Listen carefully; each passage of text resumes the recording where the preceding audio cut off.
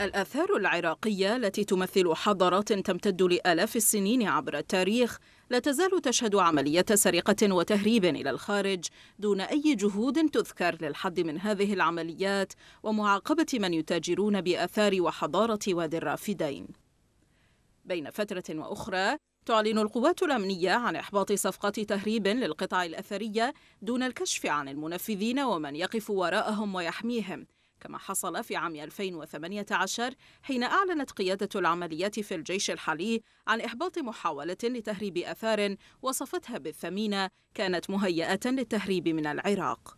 وفي محافظة بابل عثرت الشرطة على قطع أثرية كانت مخبأة في مزرعة لا تبعد سوى 500 متر عن نقطة تفتيش تابعة للقوات الأمنية وهكذا تستمر السرقات بأشكال متعددة.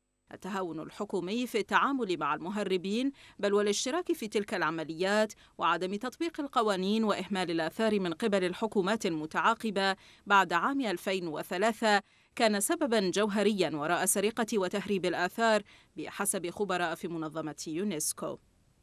لجنة الآثار في البرلمان كانت قد شكلت عشرات اللجان للتحقيق بملف الآثار لكنها لم تصل إلى أي نتيجة وهذا هو ديدن اللجان التحقيقية التي تشكل من أجل تسويف الملفات وليس لحسمها.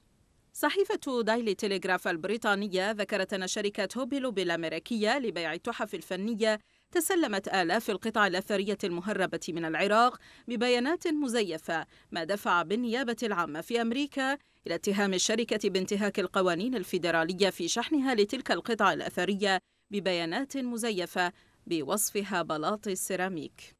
وبدلا من استرداد الآثار العراقية المهربة فإن وزارة الثقافة تسعى إلى منح الإذن لشركة هوبيلو الأمريكية المدانة من قبل واشنطن بتهريب الآثار في التصرف بآلاف القطع المسروقة التي دخلت وستدخل في حوزتها من خلال عقد ينوي وزير الثقافة الحالي حسن ناظم إبرامه مع الشركة التي تمتلك نحو 12 ألف قطعة أثرية عراقية مهربة. وعرضت على وزارة الثقافة عقدا يسمح لها بالتصرف في هذه الآثار من خلال عرضها بالمتاحف أو نسخها أو بيع صور منها.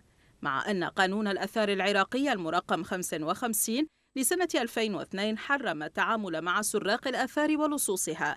شركة هوبي لوبي التي تأسست في عام 1972 وتتخذ من ولاية أوكلاهوما الأمريكية مقرا لها مستمرة بشراء الآثار المسروقة وتمتلك متحفا باسم الكتاب المقدس في واشنطن. تعرض فيه جميع الآثار التي تشتريها من السراق لتفاوض بعد ذلك على إعادتها مقابل شروط مجحفة ومبالغ كبيرة بتواطؤ من المسؤولين في العراق.